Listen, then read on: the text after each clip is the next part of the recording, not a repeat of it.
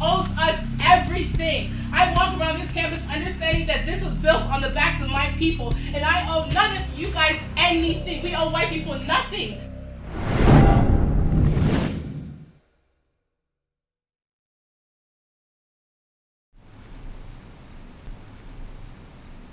What is going on in college campuses in America? There are over 23 universities now which have minority and black student protest movements demanding changes, saying that there's institutional racism ingrained inside the system. And these are some of the most prestigious colleges in the country. This one is Princeton University in New Jersey. There's a group of students right now who are occupying the president's office. They've got demands. They want to see changes, and we want to find out what they are.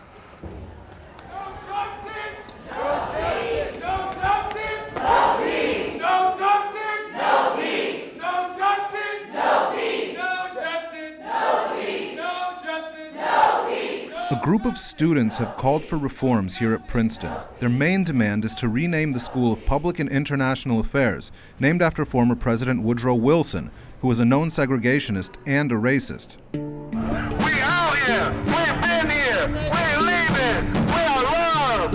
We out here! This was the scene at another Ivy League bastion of privilege, Yale, just a day earlier. Students there are demanding that a dormitory, named in honor of an advocate of slavery, be renamed, and that faculty who refused to ban Halloween costumes that some students found offensive be fired. Their protests got widespread attention when this incident surfaced. By sending out that email, that goes against your position as master. Do you understand that?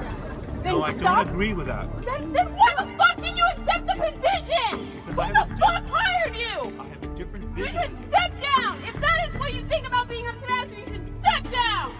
The student is angry at one of the members of faculty who refused to explicitly ban the Halloween costumes. These Ivy League protests follow on events at a state school, the University of Missouri, where African American students have faced overt racist attacks. I'm resigning as president of the University of Missouri system. Protesters there succeeded in getting President Tim Wolfe to admit he hadn't done enough to fight racism on campus and to step down. Back at Princeton, I tried to find out more about what campus life was like for minority students.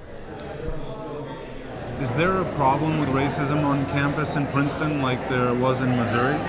Um, no, it's not overt racism. It's an institutionalized racism that you find at a lot of uh, places um, of higher education that were founded by some of the pioneers of this nation, Woodrow Wilson included. There's a lot of people who, although they did great things, there are other uh, issues that they have helped to cause in terms of institutionalization of racial um, prejudice. So basically, what you're calling for is all of the buildings or institutions named after Woodrow Wilson to be changed to a different name? Yes, I feel like these demands are um, not only uh, achievable but uh, reasonable.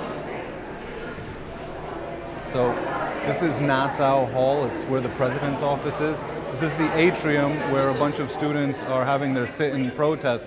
But the president's office is actually behind that door, which is guarded by a university security guard who's not letting anybody through. So we might have to go around and try to speak to them through the window if we want to talk to anybody who's in the actual office of the president. The 17 people holed up in the president's office were members of a student organization called the Black Justice League. How long have you guys been in there? We've been in here for precisely 26 20, hours. yeah, About 26. about 26 hours. How long do you plan on staying in there? Indefinitely. So Woodrow Wilson was not only a product of his time, but I mean, he was an overtly racist person, and he has a connection. He had a connection to the Ku Klux Klan, right? So he has contributed to the slow yet very present genocide of black people in this country. Mm-hmm. What's what are your other demands? Our other two demands are a cultural competency training requirement for faculty, staff, students. Additionally, we are demanding a black space on campus as well. And what about the threats that were made against you? What specific threats have been made for the occupation that you're holding now? coming from administration, they have threatened us with disciplinary action if we do not leave President Eisgruber's office, which can really range from anything such as a warning to expulsion from the school. Most people think of Wilson as a rather progressive figure. Uh, he was the president behind the New Deal um, reforms during the Great Depression. But what they don't know is his position on segregation. He actually told a group of black protesters who came to see him once that segregation was beneficial. Whatever his past, today Princeton's International Affairs School is known around the world as the Woodrow Wilson School. So, what do those who study there think of a possible change to the name they'll eventually see printed on their degree? No one disagrees that Woodrow Wilson was an absolute racist, bigot, sexist. To say that his name continuing to be honored through our school doesn't affect people, and mm-hmm. it's just something that they're doing out of political correctness, comes from a place of ignorance. Woodrow Wilson School of Public Affairs is a name that's known around the world and will help right. them get jobs. And if suddenly the certificate that they get in, at the end of their study says something mm-hmm. else, that might be a problem for some students. I'd be much more honored to graduate from an institution, even if it is a recent name change, even if it doesn't have the prestige that this name has had only because of the passage of time, because it represents real activism that took place on campus it's clear that plenty of students would be happy to see Wilson's name scrubbed from campus, but not every student. So Yik Yak is an application uh, on your phone. It's like an anonymous message board um, that works by location. So everybody at Princeton is posting things on it. And while we've had difficulty finding somebody who wants to speak on camera uh, about the fact that they're opposed uh, to the protest movement here on Yik Yak, there's tons of posts from students who aren't sure that they want to see the reforms implemented or the names changed. Back at Nassau Hall, the sit-in had just got word that Princeton's president, Christopher Eisgruber, had agreed to negotiate with the group occupying his office. So I agree with you that Woodrow Wilson was a racist. I think we need to acknowledge that as a community and uh, be honest uh, about that. And I don't think that you, as a white person, understand what it's like to walk past a building or to be studying in a school. I'm not assigning to other people like this are. To be studying in a school and to have that on your diploma. Um, Woodrow Wilson perpetuated an ideology that has led to the continual genocide of black people in this country. He is a murderer. We owe him nothing. This university owes us everything. I walk around this campus understanding that this was built on the backs of my people, and I owe none of you guys anything. We owe white people nothing. So I don't know what's gonna happen, but we may be here a while, and uh, might be another late night in here. So if anybody wants to go get their stuff, get comfortable, I can tell you for a fact I'm not going outside in that rain. I'm going to be right here. So if anybody needs to go get their stuff, you can do that. Um, we're going to stay here and chant in solidarity so that they can hear us and feel like empowered by our solidarity. But again, like if anybody wants to go get their stuff and try to get comfortable, I'm going to do that in a second. So. We're here! We're here! We've been here! We've been here! We ain't leaving! We ain't leaving! We are loved! We are loved! We heard from an activist that the president had offered not to take disciplinary action against the student occupiers if they agreed to leave the office the same day. But negotiations were dragging on because the protesters were refusing to leave until Eisgruber signed a document that agreed to some of their demands. In the meantime, we finally managed to find a student who opposed the protest who was also willing to speak on camera.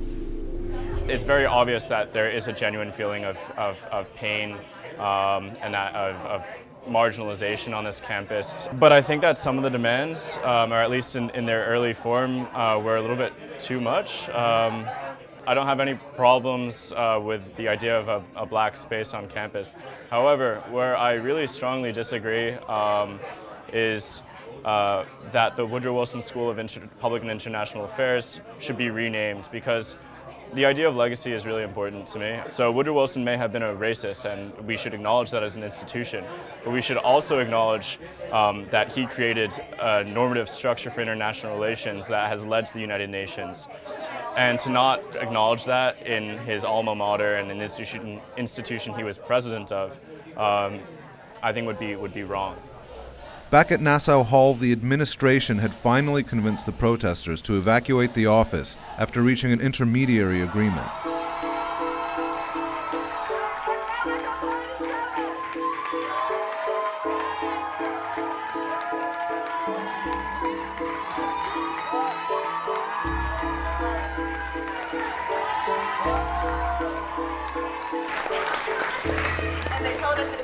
Tonight, there would be no formal like reports filed or anything like that. And we told them that for us to leave tonight, we needed these signatures um, for these demands. And so they signed it. So we out for the next.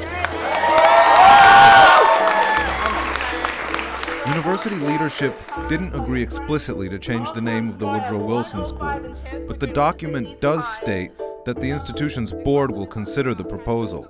Administration also didn't agree to require staff to take cultural sensitivity training, but it did promise to give the students the black space, a room for African Americans on campus, and that it would consider separate housing for black students and those interested in black culture.